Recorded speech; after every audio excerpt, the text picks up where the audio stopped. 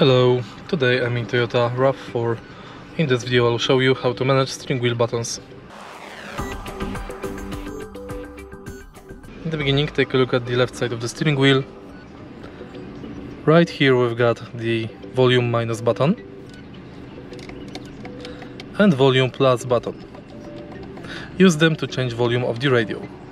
Thanks to these two buttons we can change radio station and thanks to mode button we can change radio band between AM, TP, FM2, FM1, FM3 and that's it.